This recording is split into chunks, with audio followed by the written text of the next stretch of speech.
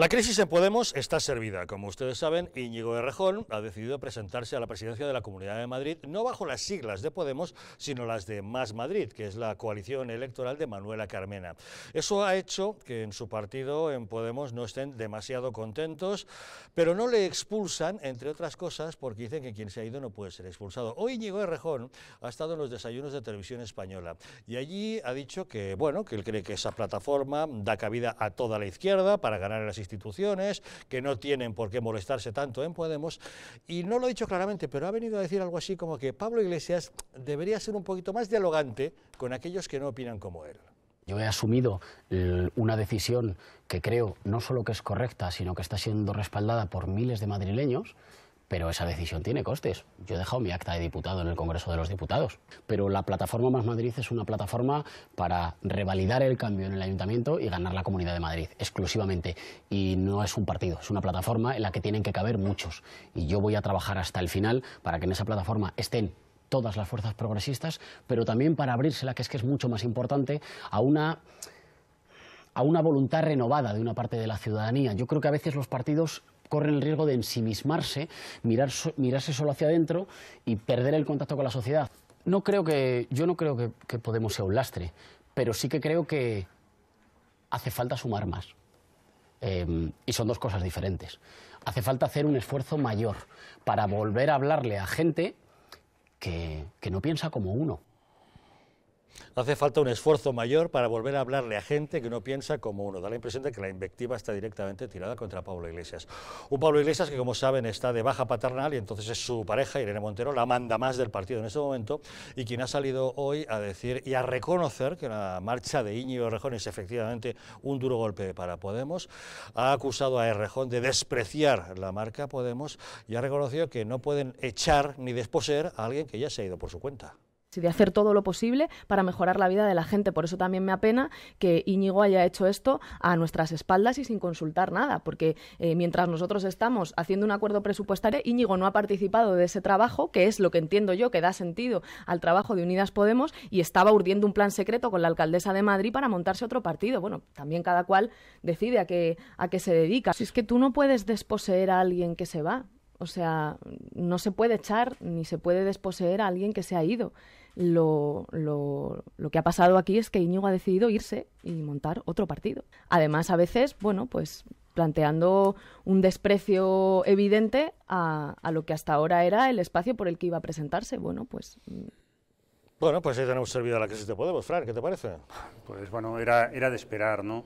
Eh, muchos gallos en el mismo corral al final siempre, siempre se pelean, siempre se pelean y lo, simpático de todo esto es que ha saltado a tres, a cuatro meses de las elecciones autonómicas, eh, autonómicas y regionales, ¿no? Entonces sí que es verdad que, a Podemos le, produce una gran fisura, le produce una gran fisura pero es algo que se venía buscando Pablo Manuel Iglesias desde prácticamente que fundió Podemos. ¿no?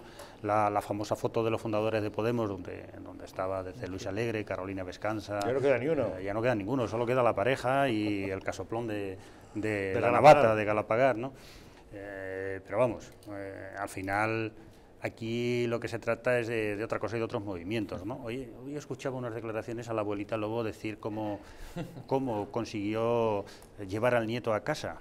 Dice que fue en la famosa cena de la famosa cena de Navidad en la que llevaba una bandejita y se rompió se rompió el tobillo, que allí acercaron posiciones y e Íñigo Errejón decidió bueno, pues decidió ir por, por el Sumar partido fuerzas de, con de Carmena, Carmena ¿no? pero, y darle la espalda pero vamos, yo, yo, iría un poquito más, ¿no? Al final está claro que, que, le va, que le ha pasado factura y le va a pasar bastante porque varios diputados de la, de la Comunidad de Madrid están por el rejón. Eh, una diputada de, de Podemos eh, en la Asamblea de, de Andalucía también ha dimitido hoy, ha dejado todos sus cargos, es rejonista. Y aquí lo importante es quién está detrás del movimiento de Rejón al partido Manuela Carmena. Y esto yo lo tengo muy claro y seguro que alguien aquí en la mesa coincidirá conmigo. El que está detrás es el presidente del gobierno, es el, el adalid del, el adalid de la alcaldesa de, Madrid en estos momentos, ¿no? Pedro ah, Sánchez. Pues cuidado. es que al final, es que al final es, es quien realmente le interesa. Manuela Carmena no es la candidata de, no, recuerdo si es Podemos Unidos, Unidos Podemos quizás que puedan, alguna vez pudieron o, no sabemos si podrán, ¿no? Pero Manuela Carmena, bueno, pues es la candidata de, de Pedro Sánchez. Yo creo que lo que nunca ha ocurrido en la historia reciente democrática de nuestro país es que el número uno de una candidatura deje plantado a su partido para irse a otro partido, el cual compite en el mismo espacio electoral que el primero. Es decir, es algo rocambolesco. A todo esto añadido con, la, señora Carmena, que pues, también fue una traidora, abandonando la plataforma que le llevó Pero ahora suman el paroxismo de lo que supone para Podemos apoyar a Carmena para el ayuntamiento y no apoyarla eh, a ese mismo partido para la comunidad, para presentar otro candidato frente a las chicas. Es, es, desde luego todo un disparate, cosas de la nueva política también, es verdad que es la, Hombre, pues entonces, pues que se vaya, que se vaya la nueva política. Pero dicho esto, la verdad es que bueno, pues uno lo, ve desde, desde este otro lado, pues nos falta el cubo de las palomitas. ¿no?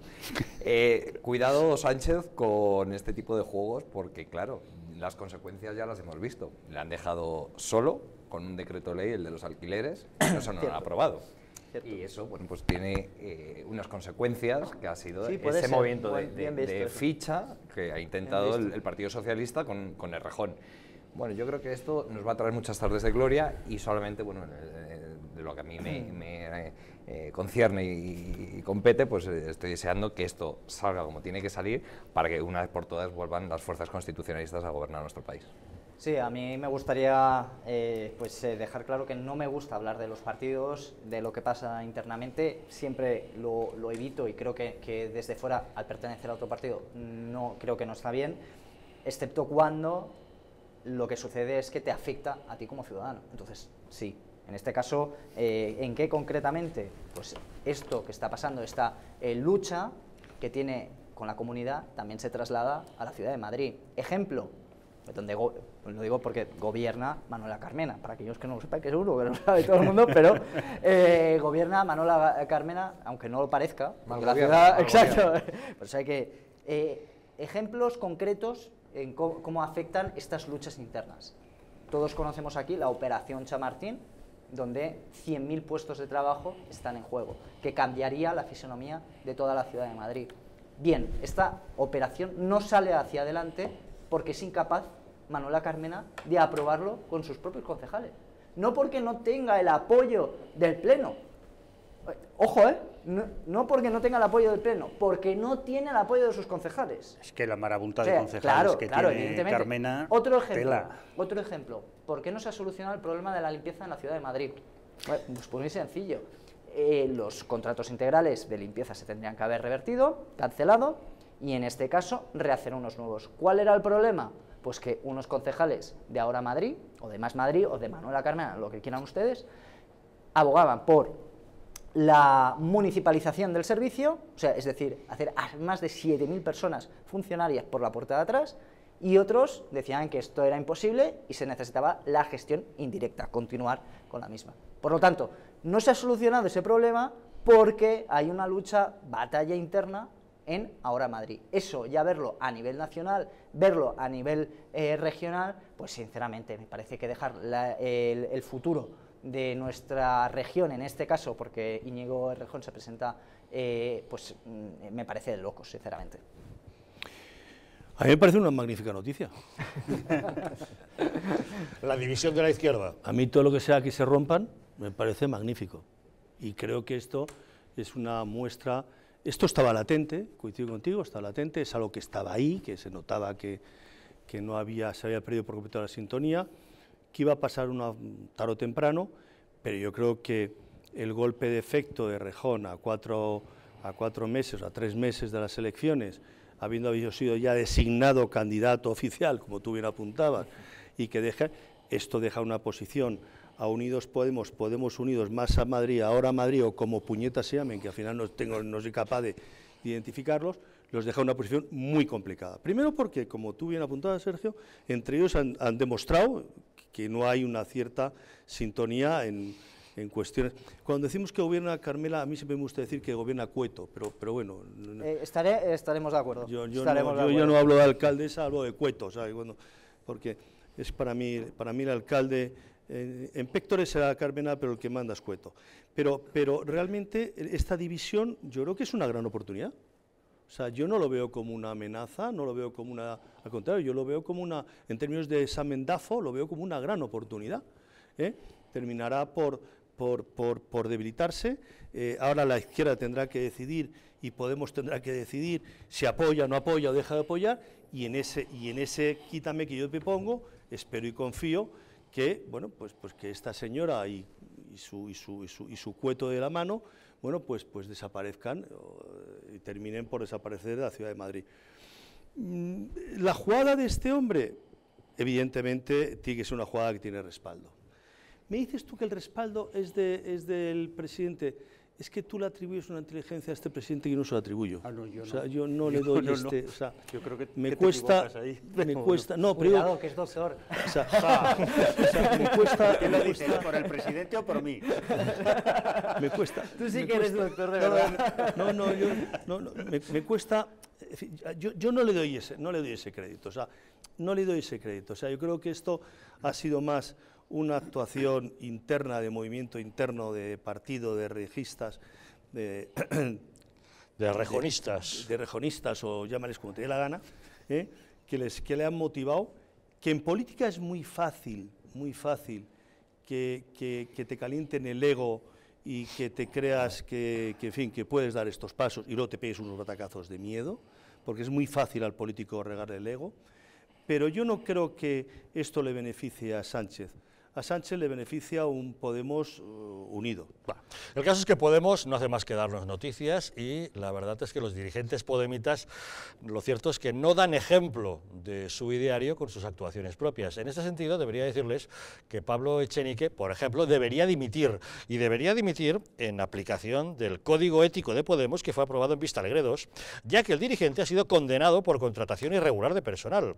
El juzgado del social número 2 de Zaragoza ratificó ayer la sanción impuesta por la Seguridad Social al secretario de Organización de Podemos por la contratación irregular de su asistente personal en dos periodos distintos, entre 2011 y 2012 y 2015 y 2016.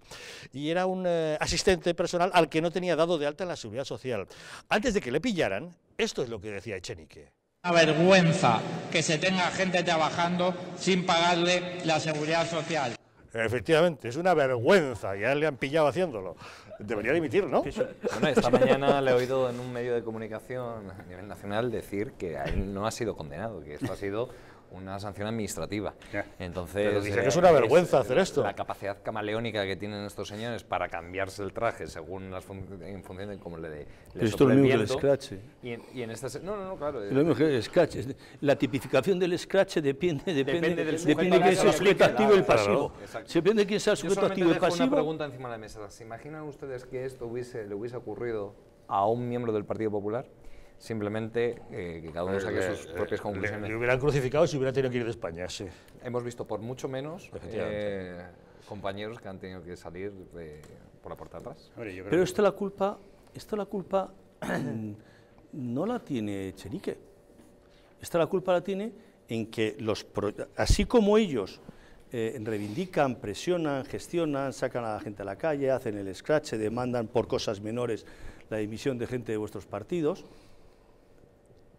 vosotros, ¿dónde está la movilización? Yo no veo esa, esa capacidad de movilización y esa capacidad de actuación y de reacción inmediata. Esta sentencia, mañana, en cambio de Marce Echenique, se llama no sé quién del Partido Popular, eres tú, vamos, y tienen mañana Getafe, 37 tíos en la calle, en la puerta de tu casa, pidiéndote que dimitas, tal.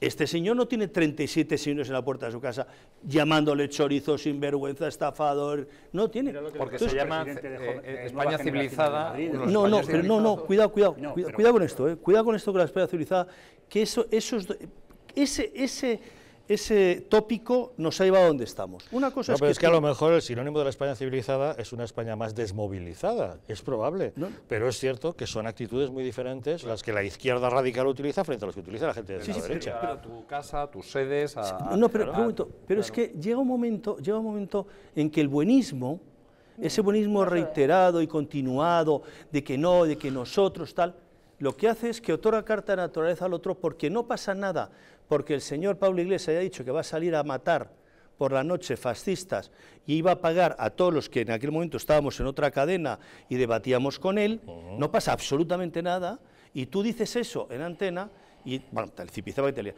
¿Qué es lo que sucede? Que si no se reacciona contra eso, se le da carta de naturaleza y por lo tanto es asumido.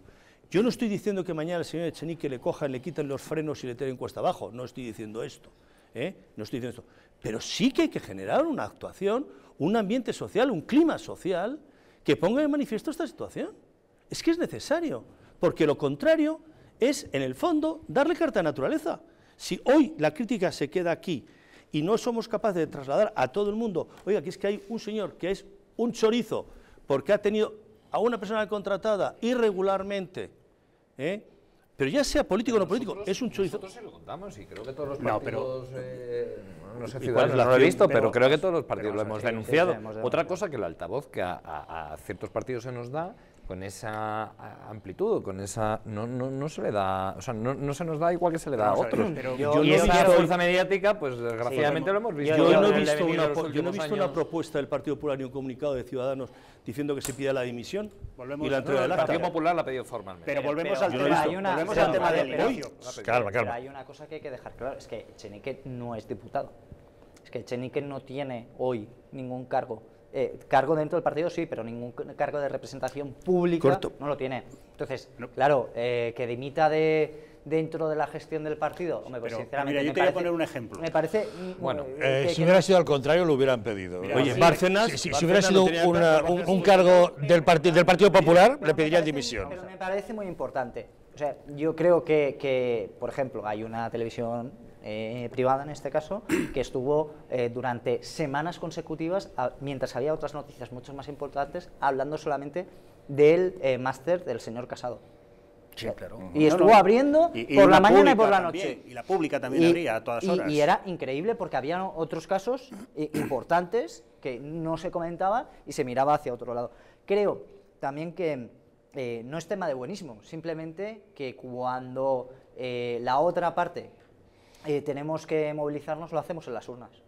Y la demostración ha sido A ver, en eso- Andalucía. Es un tópico, es un tópico. No, no, no, no, no me parece un un tópico, tópico. todo lo contrario. Es un tópico no, absoluto. porque eh, creo, que, creo que la gente que, que- que no comparte el hecho de irse simplemente a hacer un scratch a otra persona, pues yo sinceramente eso no lo comparto. Mira, hay una cosa que No está evidenciada. Claro. Sergio, O sea, la no. pérdida de la calle por parte de los que sois centro derecha, liberales, no sé cuántas cosas, esa pérdida de la calle y reformistas y bueno, todo lo que todo lo que la pérdida de la calle ha pasado un recibo enorme a la sociedad española. Que la izquierda haya ganado la calle le ha dado un margen enorme ¿Pero qué propone? ¿Eh? No, no, Ya. que volváis a ganar la calle. Que es que como partido. Oye, yo he visto señores en tertulias que han dicho, no me siento con este señor del Partido Popular porque es un chorizo. No he visto ninguno del Partido Popular que me ha dicho, no me siento con Echenique porque es un chorizo. No lo he visto. Y el señor que se ha levantado ha ganado 25 puntos de audiencia frente a los que están a otra parte. Mientras que el, buenismo ha dicho, no, es que usted ha incumplido la norma legal, vamos a las urnas, votamos. Y el otro ha dicho, mire usted, que no me siento con un chorizo, que me voy. Así No, me lo han entendido. pero vamos a ver, antes estábamos hablando de la transformación digital que tiene que hacer el mundo del taxi para enfrentarse a las VTC. Pues aquí también, en el caso del Partido Popular, también tiene, tiene que hacer una transformación digital. En eso estamos, ¿eh? Para Entiendo, eso ha sido la entiendo que Ciudadanos semana. viene También. transformado porque nació Sí, hace, eh, hace, hace unos, 10 años. hace poco, pero... pero No, ta- 10 años ya, ¿eh? Sí, bueno, sí, pe- sí, pero hasta ahora no habéis tocado pelo. Sí, hombre. Decente. Fíjate. Bueno, Andalucía. Sí, ahora sí. hasta ahora Andalucía. Pero bueno, es- estás mencionado al Partido Popular y como eh, esto va por barrios, en todas partes, cuecen habas, el Partido Popular está experimentando su primera crisis en esta nueva etapa del nuevo PP de Pablo Casado y se materializa en el que fue presidente del gobierno de Baleares, José Ramón Bauzá, que resulta que ha anunciado hoy mismo que se da de baja como militante del Partido Popular y que renuncia a su acta como senador del Grupo Popular por Baleares. El hasta ahora senador popular ha informado de esta decisión a los medios de comunicación a través de una carta en la que acusa a su partido de haber sido en Baleares el que ha sembrado y regado un nacionalismo que la izquierda no ha necesitado más que explotar. Viene a protestar por falta de coherencia, o que él así considera al menos de su partido, con el tema de la inmersión lingüística. No sé cómo lo ves, una crisis eh, inesperada en este momento. Parecería razonable que hubiera presentado la dimisión en la época de Mariano Rajoy, pero no ahora con Pablo Casado, al menos en espera de ver cómo actúa, ¿no? Totalmente de acuerdo. Yo, hombre, eh, dentro de mi modesta situación dentro del partido no, no estoy capacitado para valorar eh, internamente o al grado de, de, esta dimisión, ¿no? Eh, pero sí lo que veo desde mi humilde posición es, bueno, también es muy, ¿cómo decirlo?, un poco sorprendente que este, esta, este anuncio de dimisión se hace justo a cuatro meses de unas próximas elecciones. No se haga en otro momento. Recientemente hemos tenido un congreso extraordinario en julio. El liderazgo de Pablo Casado yo creo que está más que asentado, sobre todo después de una campaña que ha hecho a pie por todos los municipios y todas las ciudades de, Andalucía con unos resultados que para cómo estaba la situación creo que han sido muy dignos, consiguiendo además al gobierno por primera vez de la Junta de Andalucía y tras una convención nacional de este fin de semana, sin ir más lejos, donde precisamente uno de los temas clave que se han tocado es esto, la inversión lingüística, el no ceder a los chantajes nacionalistas, el, bueno, pues una serie de premisas que el presidente Casado ha puesto en su hoja de ruta, ahora sí que ya ha pasado un periodo de asentamiento y de, y de coger las riendas del partido. Creo que si esas son las excusas o esa es la argumentación que se usa, pues hombre, tampoco ha sido muy generoso a la hora de dar tiempo al PP de Pablo Casado a ponerlas en práctica. Eh, no sé si obedecen a otro tipo de intereses, los cuales se me escapan y habrá que preguntarle al señor Bauzá. ¿Qué tipo de intereses? Por ejemplo, pues que el señor Bauzá se haya ido a otro partido político, que se haya ido a Vox, por ejemplo. Todo cabe en la viña del señor.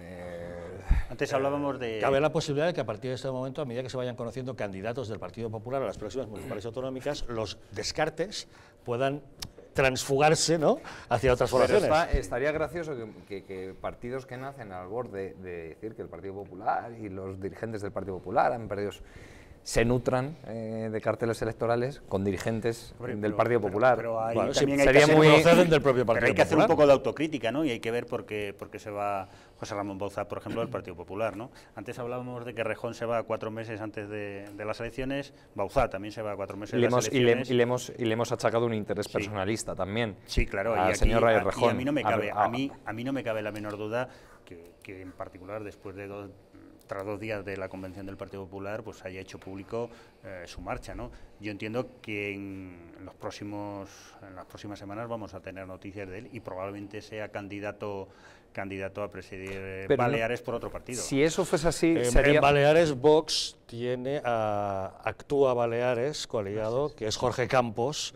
el que fue presidente de la Fundación Círculo Balear, que por cierto está haciendo una excelente labor en Baleares, la hacía ya al frente del Círculo Balear y que ahora tiene un acuerdo con Vox y se llama Vox Baleares, es decir, hay ya un candidato en Baleares eh, destacado, que es Jorge Campos. sí, sí, eso es cierto, pero al final también habrá que tirar de pues de alguien que tiene una determinada imagen y que tiene una capacidad de, aglutinar voto procedente de procedente de otro de otro nicho Bueno, de eh, otro, puede haber varias candidaturas, una evidentemente a la presidencia del gobierno de Baleares y otra, al Ayuntamiento de Palma o de otros municipios, ¿no? Efectivamente. Como yo en esto comparto, como Vox se le ocurra recoger los retales del Partido Popular, Vox está muerto, ha terminado está terminado. O sea, si Vox lo que va a hacer va a ser recoger la herencia de retales del Partido Popular, es más de lo mismo, pero con un hándicap, que es la copia de un original. Pero según esa premisa, Rafael... Que ya lo es, que ya lo es. Me vas a entonces Vox está terminado. No, no, pero es que para mí Vox... No, te voy a decir, no, no, para mí Vox, con todo el dolor, con todo el dolor que voy a decir, la jugada que ha hecho el Partido Popular con Vox ha sido una jugada, ha sido una jugada maestra. Vox, desde el día que firmó el pacto con el Partido Popular en Andalucía, es un partido que ha quedado con todo el dolor de mi corazón, no, no, no, y tú sabes muy bien que no comparto con Vox, pero no, me deja de doler porque, porque tampoco comparto con el Partido Popular. ¿eh? Vox, la firma con el Partido Popular, ha sido el testamento vital de Vox. Ha muerto. Y si ahora encima se dedicara a recoger lastre del Partido Popular, Vox no tiene argumento mañana para presentarse a unas elecciones y decir, mire ustedes, yo decía 19 puntos, rescate de competencia, violencia de género, eh, los, la, la, ley de igualdad, la, la, LGTBI, vamos a quitar el dinero, vamos a quitar el dinero, el dinero a los políticos, 52.000 euros. Inmigrantes. 52.000 inmigrantes fuera. Vamos a hacer y al final se presentan un papelito y dicen, hemos conseguido la, Consejería de Familia. Y le dice Maroto, no, familias, no familia, as, que no familia. Después de esa firma, la garantía o la credibilidad de que me vayan a otra, a otra autonomía y decir, oye, vamos a hacer todo esto, pero, pero si esto ya lo decías en Andalucía, y en Andalucía no ha hecho nada, lo vas a hacer aquí, ¿por qué? Si encima eso le suma y le pone aquí el nombre de Bauzá,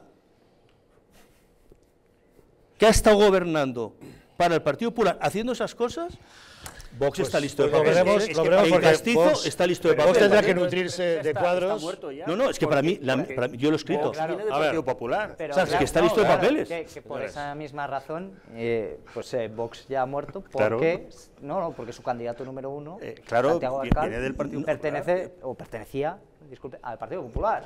Pero, pero, no, pero, pero no, no, yo no estoy no, no, no, lo digo por no, no, relación. Porque se sentía ya que ya no le representaba ese partido y por eso pero, fundó uno. Entonces eso, pasaba, eso pues pasará, pasará con otros, con, los otros, con otros candidatos que los coja también. O sea, no se puede decir que a mí me parece que muchas veces ser tan categórico pues mmm, lo que, una incongruencia. Lo que pasa que hubiera tenido mucha lógica que ocurriese durante la época de Mariano Rajoy justamente ahora, Más, con esta refundación, después de esta convención, y en espera de ver qué hace Pablo Casado, bueno, parece que no sería el momento idóneo, ¿no? Sabe que no me gusta hablar de, de los partidos políticos, exceptuando cuando no afecta. ¿Sí? Pero en este caso a mí no me afecta. En este pero, no, pero, no, no, no, en, en este caso no. no aquí presente. En este caso no, no, no, lo, no lo he hecho cuando pero sí ha afectado, por ejemplo, afecta, cuando estaba Mariano Rajoy. Porque tomarán pero, una decisión que pueda repercutirte. Eh, tomarán, pues cuando lo hagan. Pero digo como eh, ciudadano, no como ciudadano. Como, no, no, como cuando lo hagan, pues entonces si me repercute y para mí, eh, pues me parece bueno. que lo hacen mal, bueno, pues lo, lo No le haremos señalaré. valorar cuestiones internas de otros partidos. Claro, pero en, en pero estamos poniendo sobre la este mesa caso, una especulación acerca de en- qué puede haber este- ocurrido en con este Bauzá caso sí y qué me puede ocurrir a partir de ahora. Sí, pero en este caso también me gustaría eh, señalar eh, pues las incongruencias que también me parece que existen con Vox. Es verdad que eh, yo estoy de acuerdo con eso. O sea, no se puede ir a una- Para empezar, uno no puede estar en contra de las autonomías y presentarse a las elecciones autonómicas. Esto ya para empezar. Pues, eh, me parece completamente incongruente. ¿Por qué? Porque lo que está haciendo es darle más caña al sistema, al sistema del cual está en contra. No, tú no, o sea, no tiene ningún sentido. Entonces, eh, pues, pues eso tiene una incongruencia. Tiene una incongruencia también el hecho de presentar iniciativas nacionales en una, eh, eh, eh, a nivel regional. Bueno, ¿pero qué, pero qué es esto? O sea, eh, me pareció lamentable. Eh, no se puede coger y decir que lo que más le importa a, a Vox es el empleo y de las 19 medidas que presentó en Andalucía, ninguna son de empleo. O sea, eh, Bueno, pero al final las que importan realmente son las que firmaron. Y dentro de las que firmaron había tres o cuatro que iban encaminadas a la generación de empleo. no, pero, es que- a ver, es que entonces yo, veo que- varias es que- incongruencias de un... Pero que es que se acabó firmando no es nada más ni nada menos Pero si es que algo que podía haber dicho y que dice el hay Partido en Popular todo. Sin necesidad de firmar ningún documento. Otra cosa bien distinta es el primer eh, documento que ponen encima de la mesa. Yo incluso, no sé si ha sido aquí, dije que parecía más de una lista de, de propuestas de delegado de clase que de un líder autonómico. A ver, sinceramente. sí, porque la Porque primera- además, entre la otras, cosas, era- entre otras cosas, como bien dice Sergio, no había ni una sola medida en materia de empleo, algo fundamental en una comunidad autónoma como Andalucía, en el que lleva pues muchos años padeciendo el horrible, eh, la, la- la horrible estigma del desempleo y del paro. Con lo cual, eh, es muy sorprendente. Eh, Y enlazándolo con lo del señor Bauzá, bueno, pues el tiempo nos dará o no razón a, lo que, a los que podemos pensar que tiene otras motivaciones diferentes a las que él ha aludido en su carta de despedida esta mañana. Iremos viendo lo que ocurre, eh, pero tenemos más conflictos en otros partidos. Volviendo a Podemos, ¿creen ustedes que apoyarán los presupuestos de Pedro Sánchez después de que ayer le tumbara el decreto de alquileres? Pausa y lo analizamos.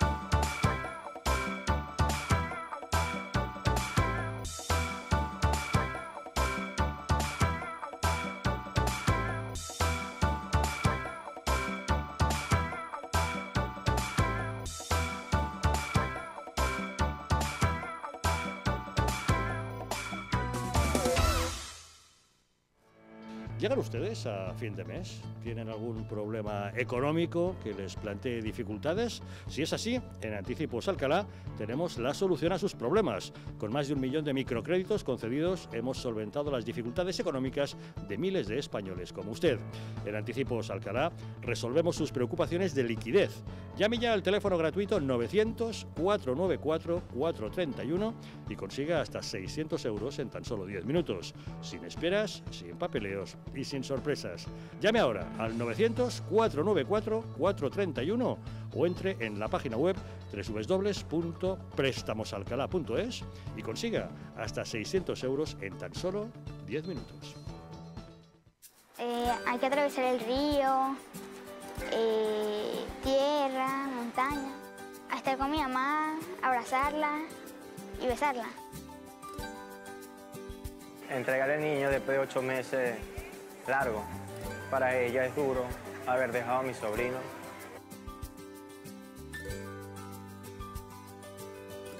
Y han tenido un 30 días, 28 días caminando, pidiendo cola, pasando travesía, el frío que hace inmenso en la parte de Rumichaca, en la parte de la entrada de Ecuador. Aquí estoy con la bendición de Dios. Y cuando de repente sale por allá, yo, ¡ay! Pego que grito, yo, ¡ay, mi príncipe! mi cosita preciosa, eres su mamá. Yo había días que no podía mandar niño al colegio porque no tenía que darle desayuno. O sea, estoy con mi hijo, pero pasando necesidades los dos. Se ve que vienen cosas buenas para mí y para mis hijos.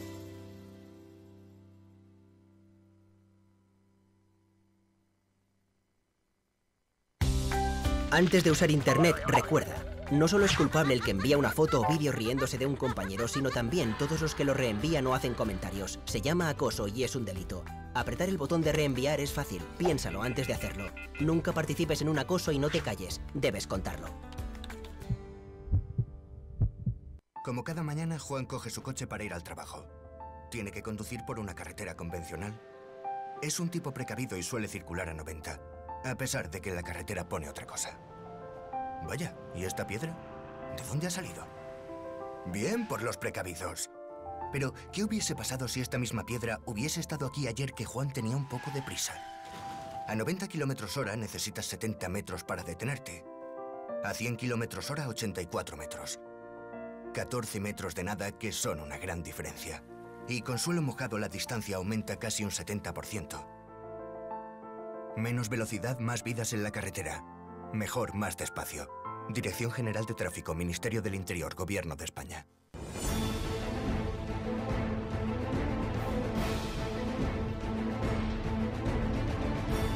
Si la España nación de naciones va a llegar. Visca Cataluña, lliure y soberana. Diré que yo soy el endacari más peligroso para sus intereses. Independent en forma de república. Todos estos que acaban de ver hablan mucho, muchísimo, posiblemente hasta demasiado en el resto de canales. Y se les hace una crítica, pero pequeñita. Aquí va a ser al revés, en Distrito TV va a ser al revés. Aquí ellos van a poder hablar, por supuesto, pero la crítica va a ser mucha, muchísima, va a ser tremenda. ¡Hala! Con España cuesta, todos los domingos de 10 a 12.